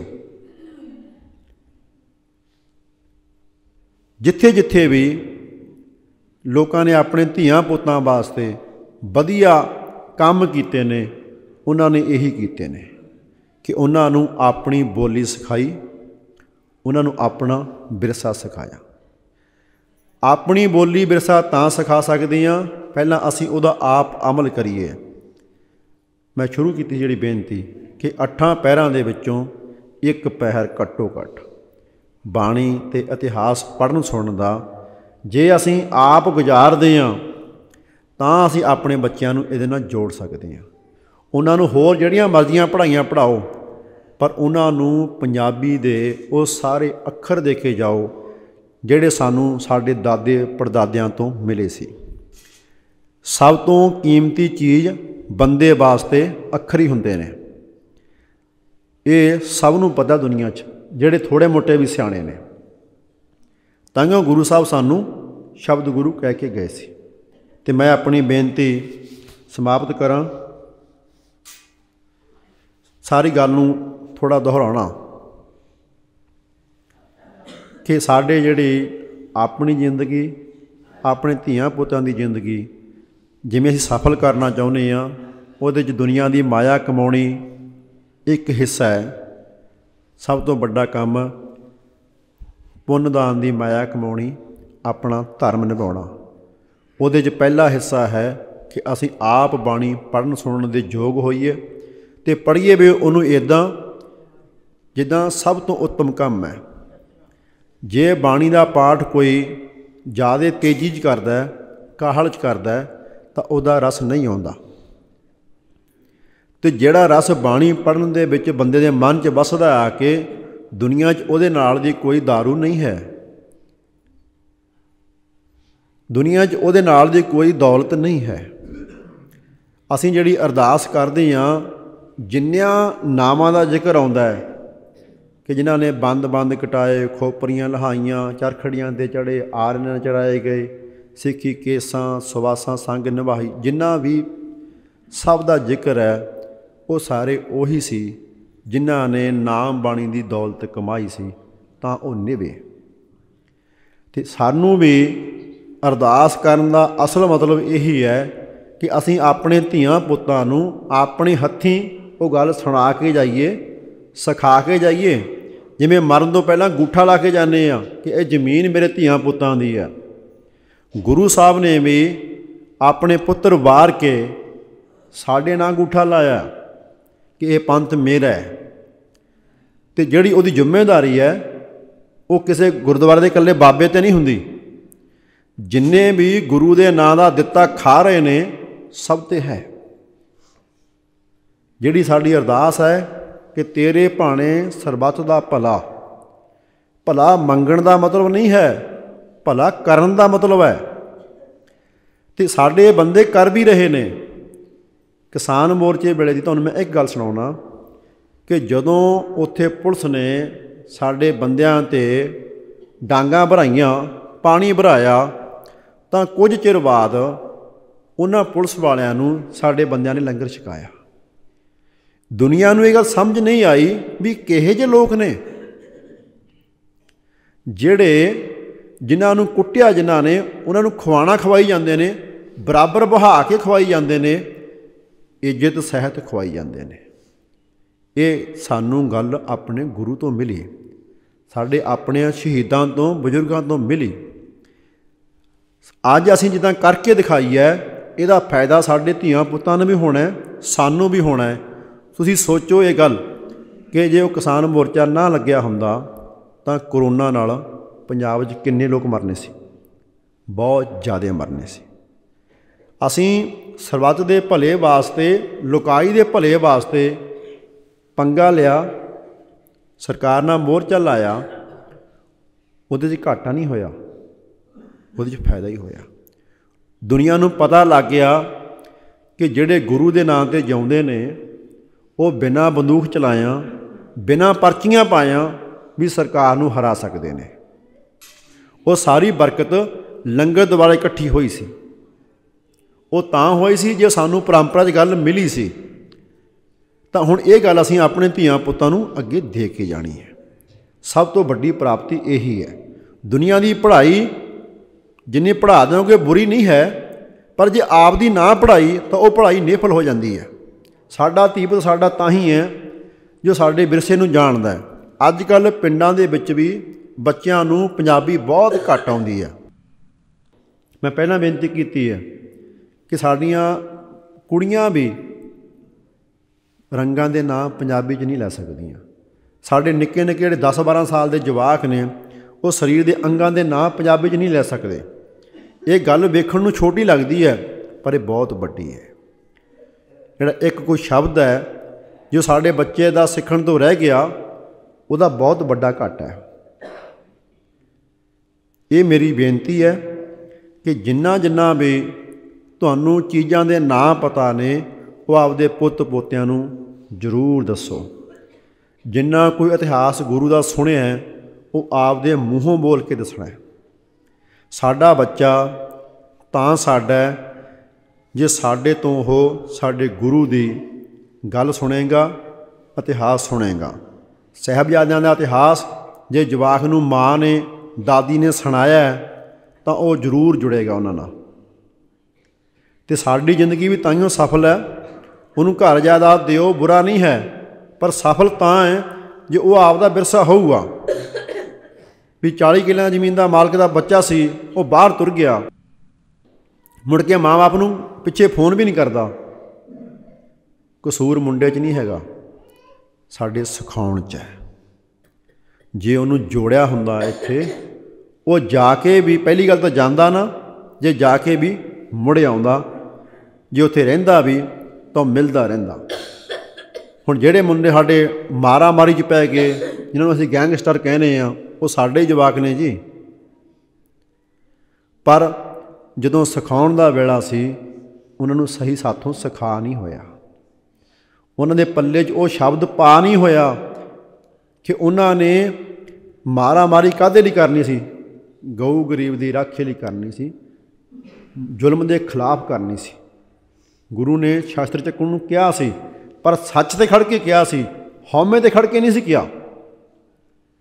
ਅਸੀਂ ਧਰਮ ਨਹੀਂ ਸਿਖਾ ਸਕੇ ਤਾਂ ਬੱਚੇ ਦੁਨੀਆ ਦੀ ਝੂਠੀ ਬਹਾਦਰੀ 'ਚ ਪੈ ਗਏ। ਜਿਹੜੀ ਅਰਦਾਸ ਹੈ ਦੋ ਵੇਲੇ ਦੀ, ਜੇ ਸਾਡੇ ਬੱਚਿਆਂ ਨੂੰ ਕਰਨੀ ਨਹੀਂ ਆਉਂਦੀ, ਉਹ ਇਤਿਹਾਸ ਕਿਵੇਂ ਸਿੱਖਣਗੇ? ਇਤਿਹਾਸ ਸਿਖਾਉਣ ਦਾ ਸਭ ਤੋਂ ਸੌਖਾ ਤਰੀਕਾ ਹੈ ਕਿ ਬੱਚੇ ਨੂੰ ਅਰਦਾਸ ਕਰਨੀ ਸਿਖਾਓ। ਜਿਸ ਬੱਚੇ ਨੂੰ ਅਰਦਾਸ ਯਾਦ ਹੋ ਗਈ, ਕੰਠ ਹੋ ਗਈ, ਉਹ ਰੱਬ ਅੱਗੇ ਬੇਨਤੀ ਕਰਨ ਜੋਗਰਾ ਵੀ ਹੋ ਗਿਆ ਤੇ ਸਾਰਾ ਇਤਿਹਾਸ ਉਹਦੇ ਅੰਦਰ ਬਸ ਵੀ ਗਿਆ। ਪੰਜੇ ਤਖਤ, ਪੰਜੇ ਪਿਆਰੇ ਸਹਿਬਜ਼ਾਦੇ 40 ਮੁਕਤੇ ਸਾਰੇ ਸ਼ਹੀਦ। ਨਾਮਦਾਨ ਇਸ਼ਨਾਨ ਸਭ ਉਹਨੂੰ ਆ ਜਾਏਗਾ। ਇੰਨੀ ਮੇਰੀ ਬੇਨਤੀ ਹੈ, ਜੇ ਇਹ ਸਹੀ ਹੈ, ਤਾਂ ਇਹ ਗੁਰੂ ਦੀ ਹੈ, ਜੇ ਇਹਦੇ 'ਚ ਕੁਝ ਗਲਤ ਹੈ, ਘੱਟ ਵੱਧ ਹੈ, ਉਹ ਸਾਰਾ ਮੇਰਾ। ਭੁੱਲਾਂ ਚੁੱਕਾਂ ਲਈ ਖਿਮਾ। ਫਤਿਹ ਬੁਲਾਓ ਜੀ। ਵਾਹਿਗੁਰੂ ਜੀ ਕਾ ਖਾਲਸਾ। ਵਾਹਿਗੁਰੂ ਜੀ ਕੀ ਫਤਿਹ।